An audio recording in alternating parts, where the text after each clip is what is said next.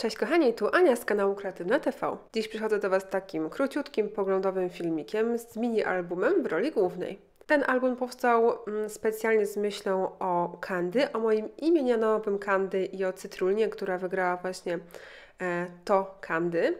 E, tak więc pomyślałam, że fajnie by było zrobić dla niej albumik. No i powstał właśnie taki mini albumik. Bardzo lubię mini albumy i one się świetnie sprawdzają na przykład do zdjęć z Facebooka czy też Instagrama. No i mam nadzieję, że taki mały zielony wiosenny, jeszcze trochę wiosenno-letni album e, jej się spodobał. No i chcę dzisiaj Wam pokazać, jak on jest zrobiony. Okładka jest niewielka, sama okładka, bo ma 8,5 cm na 8,5 cm, tak mniej więcej, bo to raczej jest chyba 8,4 i troszeczkę mniejsze karty w środku.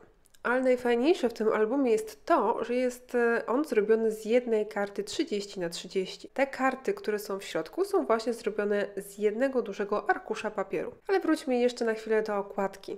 Na okładce mamy jeden papier, nie dawałam tutaj już żadnych innych ozdobników. No i mój ulubiony napis album. E, ten napis występuje, to znaczy generalnie jest to napis album ślubny i słowo ślubne jest doczepione do, mm, do literki B. Ja zawsze przycinam to słowo, bo po prostu ja bardzo, bardzo lubię tą czcionkę wykorzystaną w tej konkretnej tekturce. Tak więc zazwyczaj właśnie e, odcinam ten drugi człon nazwy.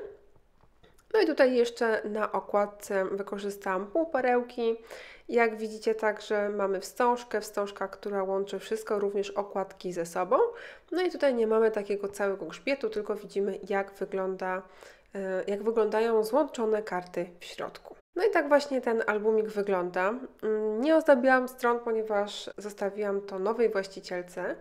E, no i oczywiście nie chciałam jej narzucać układu, jaki powinien mieć ten album w środku, tak więc e, w środku jest on czysty. Wykorzystałam tutaj bardzo fajny zielony papier z kolekcji e, Galerii Papierów. No i oczywiście co drugą stronę mamy kieszonkę z tagiem, gdzie można zamieścić jakieś um, fajne teksty, czy też um, motywacyjne teksty, jakieś swoje zapiski. Można też oczywiście wrzucić dodatkowe zdjęcia. E, no i ten album, jak widzicie, jest bardzo malutki, ale słuchajcie, on może pomieścić ponad 20 zdjęć. W zależności czy nowa właścicielka wykorzysta tagi jako maty do zdjęć, czy też po prostu pozostanie przy przyklejaniu zdjęć na normalnych kartach.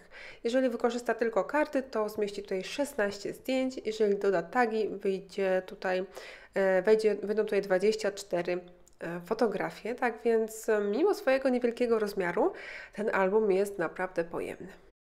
To wszystko na dziś. Jeśli spodobał Wam się ten filmik, to pamiętajcie o kciukach w górze, a także o subskrypcji kanału, żeby być zawsze na bieżąco.